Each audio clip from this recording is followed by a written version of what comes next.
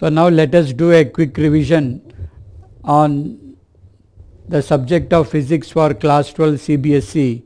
So we will cover up the chapter number 2 so that is electric potential and capacitance. So here we will try to note down some important formulas at a glance.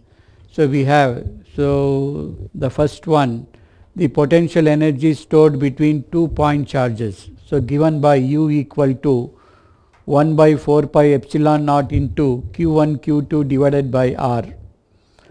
And number 2 the potential energy of a charge placed in an electric field. So given by u equal to q into v where v is the potential at a point where the charge is placed. So here q is the charge. And number 3 the potential energy of two charge system placed in an external field. So here you can see the two charges q1 and q2 of so, so v1 and v2 so separated by a distance r is placed in an external electric field. So then the potential energy u is given by q1 v1 plus q2 v2 plus 1 by 4 pi epsilon naught into q1 q2 divided by r.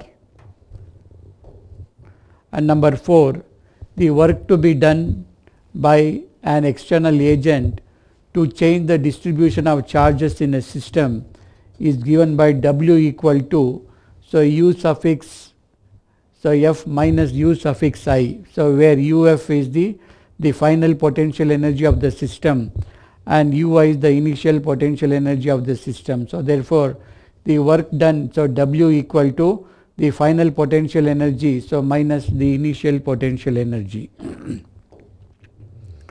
So number 5 the work done in moving a charge so particle between two points in a field. So if we consider A and B as two points so then so W A to B is given by Q into in bracket VB minus VA and this implies so for an external agent and and this is also equal to minus Q into so Vb minus Va so this implies by an electric field.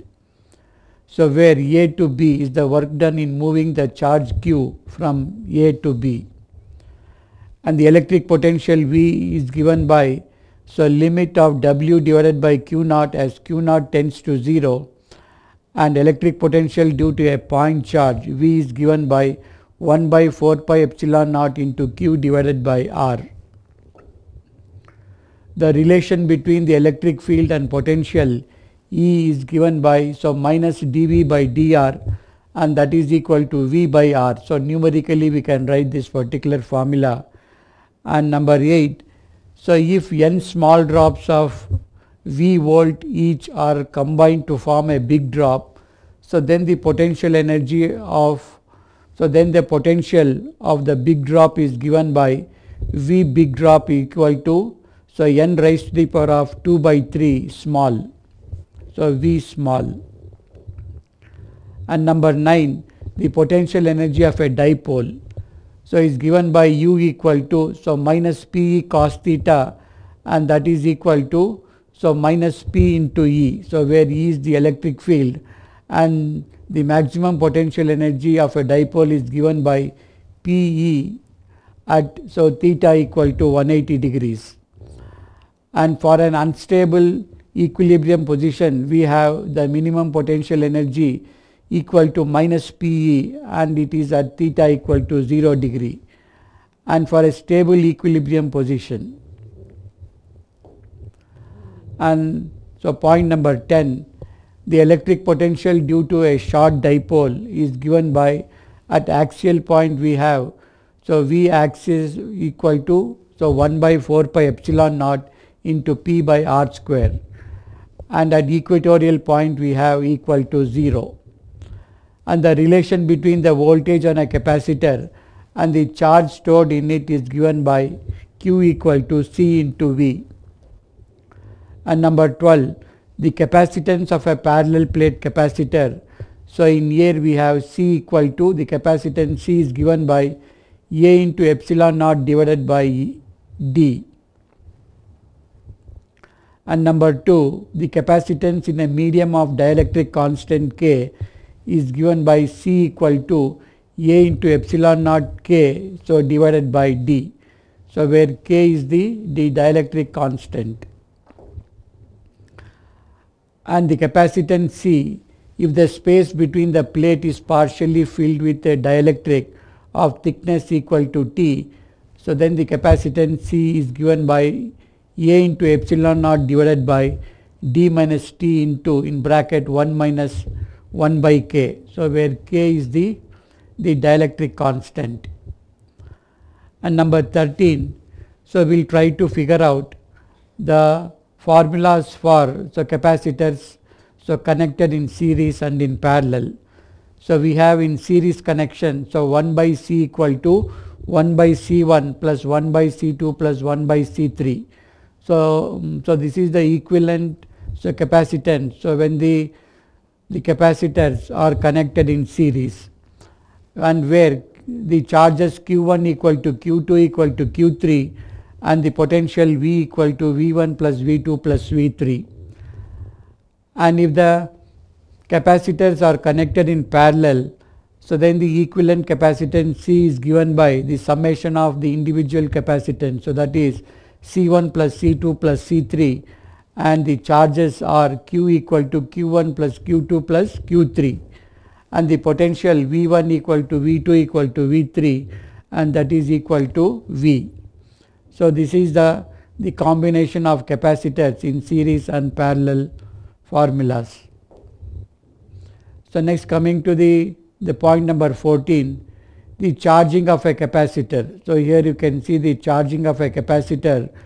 So, total work done by the battery is given by C into V square and the energy stored in a capacitor equal to half into CV square and heat loss in the process is given by half into CV square and number 15 the energy stored by a capacitor in other forms is given by U equal to half into CV square and that is also equal to Q square divided by 2C and it is further equal to half into Q into V.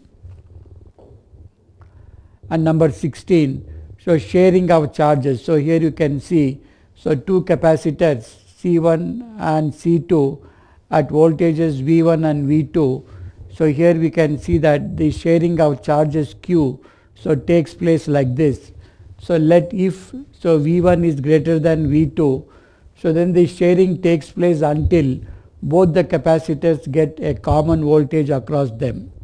And the common voltage is given by so Vc equal to C1 V1 plus C2 V2 so divided by C1 plus C2 and the loss in energy in the process is given by so that is heat loss equal to half into C1 C2 divided by C1 plus C2 in bracket V1 so V1 minus V2 whole square. And the initial charge on the capacitor is given by Q1 equal to C1 into V1 and Q2 equal to C2 into V2 and that is the final charges after sharing is given by Q1 dash equal to C1 into Vc and so where Vc is the common voltage and that is given by equal to C1 so divided by C1 plus C2 into Q1 plus Q2 and Q2 dash is given by C2 into Vc and that is equal to C2 divided by C1 plus C2 into in bracket Q1 plus Q2.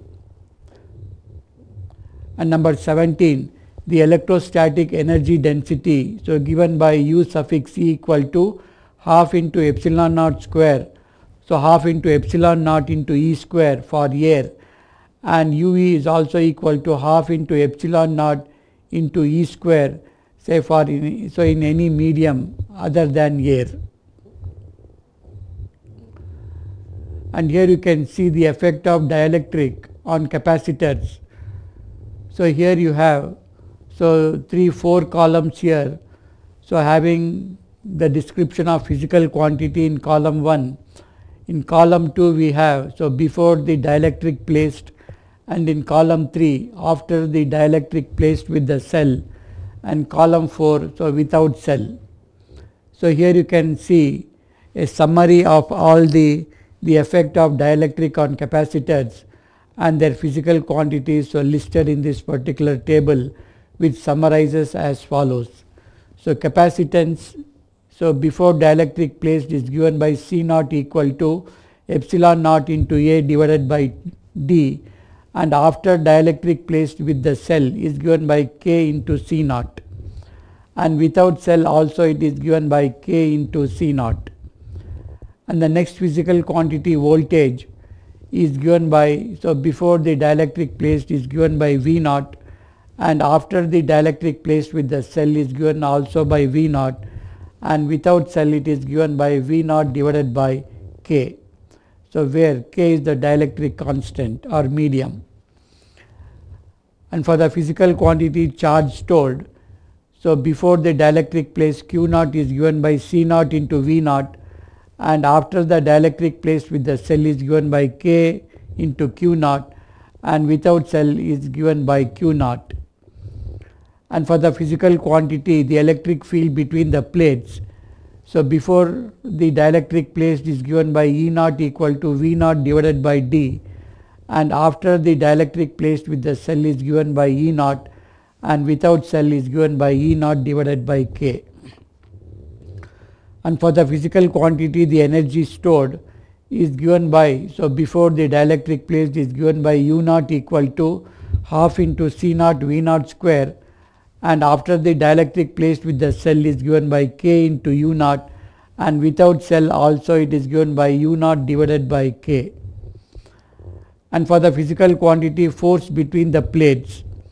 So before the dielectric placed is given by F naught equal to Q naught square divided by 2A into epsilon naught and after the, the dielectric placed with the cell is given by K into F naught and without cell is given by F naught divided by K. So this summarizes the effect of dielectric on the capacitors.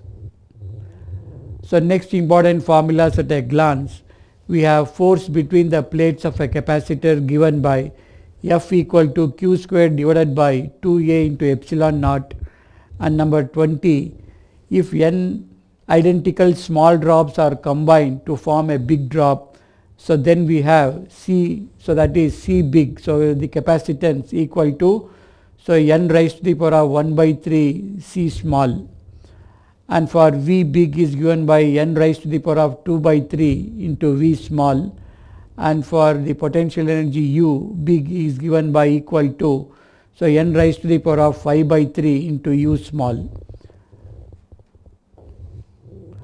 And number 21 the sharing of charges. So here you can see the sharing of charges between Q1 and Q2 so takes place in such a way that the common potential Vc is given by R1 V1 plus R2 V2 divided by R1 plus R2 and the heat loss is given by 2 pi epsilon naught into R1 R2 divided by R1 plus R2 in bracket V1 minus V2 whole square and the final charges are given by so q1 is equal to r1 so divided by r1 plus r2 in bracket q1 plus q2 and q12 is given by r2 divided by r1 plus r2 into in bracket q1 plus q2. So thus we have summarized all the important formulas and also the, the definitions and concepts. So regarding this chapter number 2 and made a last minute revision on this chapter. Okay, thank you.